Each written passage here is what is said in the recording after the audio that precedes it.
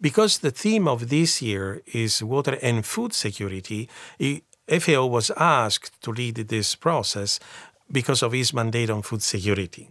So what we have done is taken a series of initiatives stimulating also our regional office and our decentralized office in general, um, but not only our own, also the one of the other agency to uh, take action toward awareness building on the, the problem, on the uh, food security issue.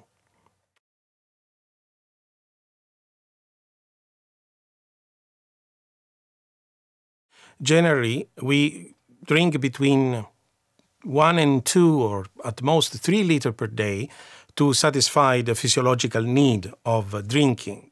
For household, we might have an additional 30, 40, or sometimes even a couple of hundred, depending on the lifestyle. But for the food need, the basic food need of a person, every day, it requires at least 3,000 liter per day.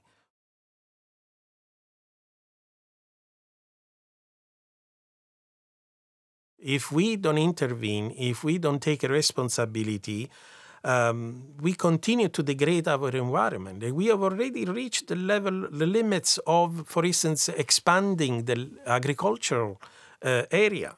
We, otherwise, we enter into more forest, we degrade more biodiversity, wetlands. So we don't want to do that. And so this future demand has to come from what we have now. And in order to, to do that, we need to uh, act in, in, on, with this measure in order to preserve for the future generation the opportunity to produce more food, but with the same amount of resource. So the efficiency, the productivity is important. And we know how to do it. We needed to make this into practice. So from that side that we have a solution, I'm uh, optimistic. I may be a little bit more pessimistic because in order to move those action on the ground, it may take a while. So we needed to move faster than what we are doing so far. The classical uh, business as usual is not anymore an option.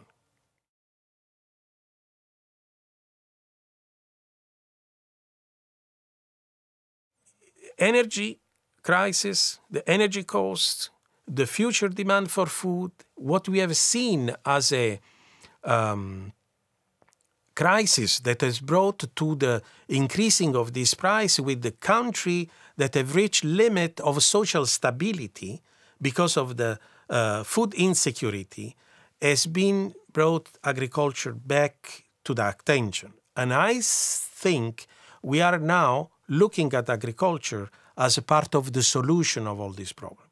So if we invest both not only infrastructure but human capital, knowledge, technology in agriculture to have a more precise and more performing, but also more sustainable agriculture, this will allow us to release more water for the other sector.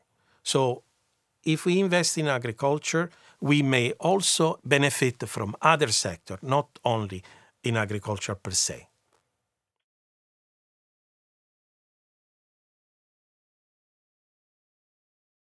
What we know is that initially uh, water was not in their agenda for discussion. But as the time passes, now we know that there will be one full day event dedicated to the water. So we believe that uh, there is, you see, an, an, awareness building also for the various nations, for the various ministry around the world to recognize the importance of water for the greening of the economy, for better institutional building, for food security, for water supply and sanitation. So for all these cross-sectoral, um, let's say, aspect and issue that need to be addressed and improved in terms of sustainable development, and water cannot be taken out from the picture.